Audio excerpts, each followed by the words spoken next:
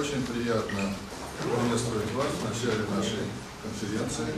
Конечно, она окрашена в особый тона нашего юбилея, 150-летия Московской консерватории.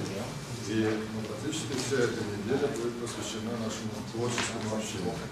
А предыдущая неделя также была целиком посвящена общению, э, в процессе которого мы демонстрировали сегодняшнее состояние Московской консерватории в исполнительской сфере. Но, строго говоря, э, это был лишь, так сказать, эпицентр событий, а весь предыдущий сезон, он также был концертный сезон, я имею в виду, был посвящен именно подготовке к юбилею.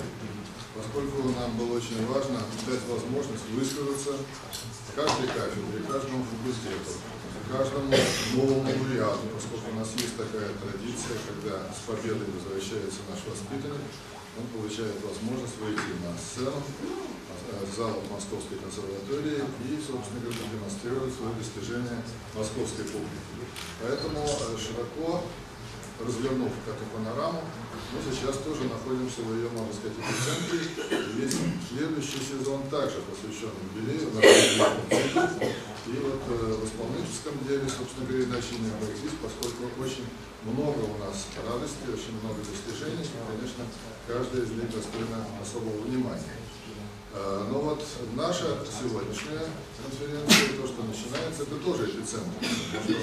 Мы э, точно так же, как в отношении исполнительских, композиторских школ, э, были очень заинтересованы показать все многоцветие научной школы Московской консерватории, и поэтому, э, собственно, отражение вот этого нашего стремления, оно очевидно э, в целом ряде публикаций, э, и совсем недавних, которые вот буквально, как говорят, хорошо яичко к Христову дню. Вот сегодня в руках появился вот этот сборник из истории школ Московской консерватории, где, собственно, есть некоторое обобщение тех конференций, тех конгрессов, которые проходили в последние годы здесь, в этих стенах и которые дали замечательный научный материал.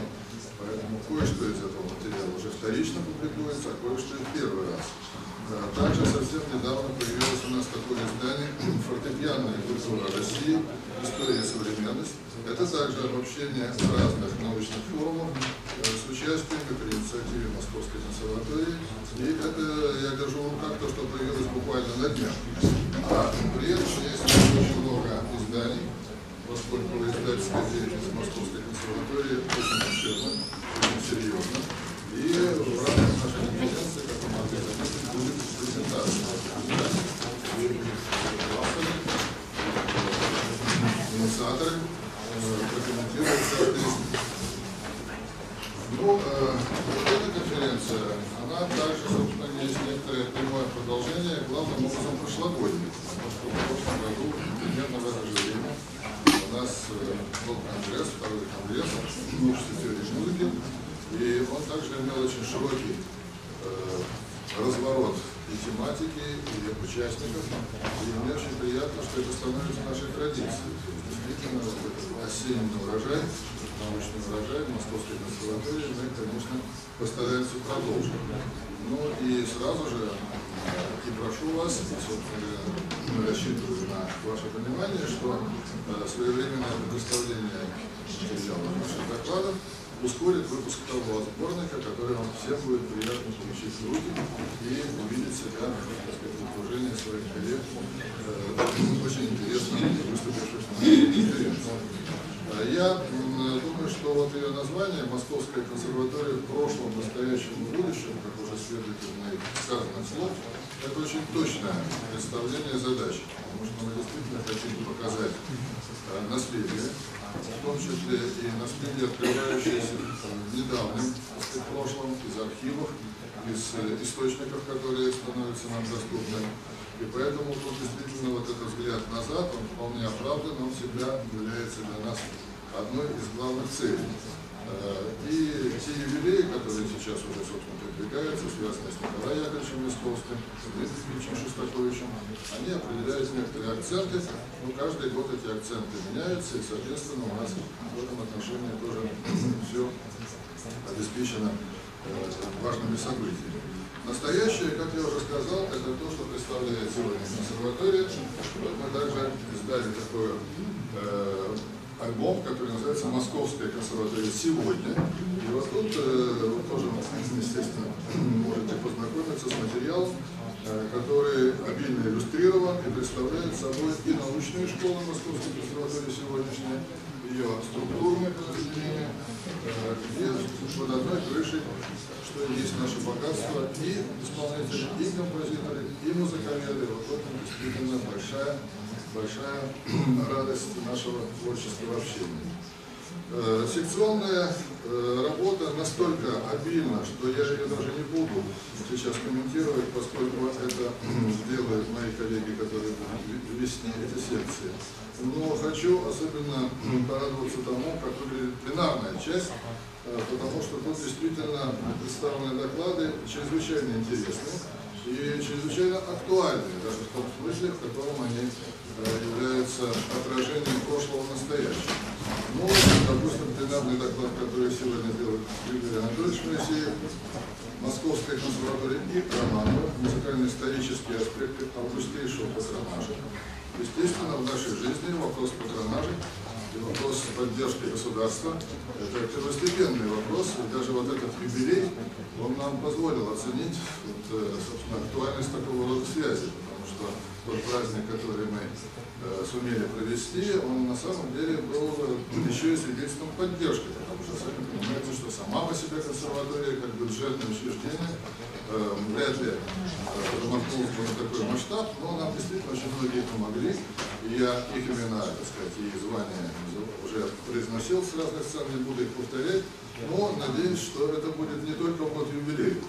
Когда-то Анатолий Васильевич Луначарский очень проницательно сказал, что в общем, э, шанс э, получить, э, заручиться вниманием поддержкой государства, это круглая дата. Тогда он защищал Большой театр, потому что когда были нападки на Большой театр, у него появилась такая статья «Зачем нам нужен Большой театр?». Вот он там-то это как раз и предрек, что если круглую дату пропустить, то потом придется ждать следующий. Но я надеюсь, что вот между вот этим э, интервалом 25 лет, который является, собственно говоря, официально э, критерием э, юбилейности, ну, в этот 25 лет мы все-таки этим вниманием все-таки заручимся и постараемся его не потерять. А вот второй пленарный доклад Михаила Александровича Сапонова, он не менее актуален, поскольку называется «Альма-Матер Белороза об истории и судьбе критических нападок на Московскую консерваторию». Сия тема никогда не потеряет актуальности, поскольку каждая комиссия, которая к нам приходит, она именно свидетельствует такого рода подхода, и, к сожалению, в последние годы, когда мы шли в парадигме прежнего Министерства образования, я думаю, что все, кто э, к этому причастен, имели возможность оценить, э, собственно говоря, злободневность этой темы. Поэтому надо использовать тот опыт, который консерватория уже давно обрела, защищаясь от культа, от 48 -го года и так далее и тому подобное. Было, прошло и, в общем, э, имеет некоторую резонансную ценность. Ну и далее Валентина Николаевна Холопова представит пленарный доклад «Музыковедческий актив Московской консерватории мировой науки прекрасно». Нам очень радостно, что вот это влияние консерватории действительно растет, что очень много наших воспитанников, прямых продолжателей школы консерватории рассеяно по всему миру и чувствуют себя сопричастными альма-матер. Но и помимо этого, те, кто никогда не учился, никогда не работал в Московской консерватории, все более э, притягивают э, вот, к событиям, которые у нас происходят, и даже языковой барьер все меньше и меньше э, влияет на такого рода связи. Поэтому я хочу особо поблагодарить тех коллег, которые приехали на эту конференцию, которые представляют свою культуру и которые именно взглядом с иных позиций позволяют нам самим разобраться в том, кто мы есть. Э, ну и в связи с этим, конечно, особая благодарность Егору Даниловичу Резникову, э, который, собственно, уже у нас, можно сказать, профессор постоянный, и мы его каждый год с радостью встречаем, приглашаем, и каждый год он завоевывает сердца все новых поколений студентов, поскольку они меняются, а успех неизменен. И его пленарный доклад «Парижане в Москве. Годы сотрудничества» – это уже нет, это неверное название моего доклада. Поправьте, а, называется он «60 лет воспоминания о Московской консерватории 1957-2017. Вот то, что вы сказали, это почти совпадает с тем, что я хотел уточнить, ваше присутствие в Москве – это не присутствие парижанина, а это присутствие человека, кровно связанного с русской культурой и фактически преодолевающего географические границы на личном примере. Поэтому огромная радость, что вы в этой конференции вновь с нами.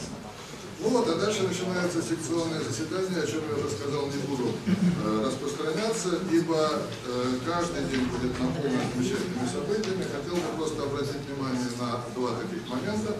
Это на начало и конец, то есть мы э, будем рады показать вам и, собственно, включить в программу конференции деятельность нашего нового такого структурного подразделения в Центре электроакустической музыки. Это действительно недавнее наше поскольку еще ну, сравнительно, сравнительно недавно, лет 20 назад, у нас ничего подобного не было. А был только посыл, творческий посыл, исходящий из композиторов, от композиторов, поскольку вы наверняка знаете, что история электроакустической музыки советской была прервана, так сказать, как раз таким вмешательством извне, когда и э, первый электроакустический синтезатор аналоговый АНС был упрятан в подвалы Московской консерватории. И тогда, после того, как Алексей Рыбников закончил лимонный авось и синтез, то точно так же, значит, там было запрещено. Но это были вот те идеологемы, которые сегодня уже воспринимаются как история. А пауза-то была действительно обидная, потому что на том этапе наша музыка и те композиторы, которые заинтересовались этими возможностями, были впереди, впереди по творческому, и по, по творческому потенциалу, и по, по тем условиям, которых они писали. Это же даже Московская Троица, Шмидт, Денисов Губайдулин, они писали диансы, они все, так сказать, вошли в это. Но потом это все кончилось. Кроме, кроме э, Артемьева, э, э, который на самом деле всю жизнь посвятил именно этому, и как, так сказать, вот такая векторная линия электронной музыки и персонифицирует. Так вот, 20 э, лет назад мы получили подарок. Получили подарок от Парижской консерватории, которая меняла свою аппаратуру в очередной раз, и, что называется, с барского плеча э, подарила нам свою электронную студию. Она была в то время для нас абсолютной фантастикой. Причем мы на самом деле преодолели тогда некоторые сложности получения этого подарка, поскольку это было не так просто, таможня и все прочее. Нам а, помог МИД, Министерство иностранных дел и дипломатической почты. Эта студия сюда была доставлена, и вот тогда впервые мы получили возможность вообще понять, что это такое. Ну а сейчас мне очень приятно, что наши французские друзья, когда приезжают и видят нынешнюю нашу студию, говорят, так, это у нас такого нет. Вот, то есть действительно это очень современная, очень хорошо продуманная сочетание разных технических средств и, главное, разных творческих инициатив. Поэтому мы решили предложить вашему вниманию именно встречу в этом новом помещении под стороны большого зала консерватории. Там вам расскажут, как она появилась, с чем это, не буду сейчас углубляться. Но это вот первая, так сказать, некоторые инновации. Ну а второе, мы, которые заметили, передвинули фуршет с конца до начала. Вот, не для того, чтобы только лишь создать э, настроение, но понимая, что не все э, смогут так долго находиться в Москве, а хочется пообщаться всем. Поэтому в конце сегодняшнего дня мы вас приглашаем на такое неформальное общение. Ну, а сейчас я вам желаю успеха, хорошего настроения и проведения творческом общении каждого дня этой конференции. Спасибо.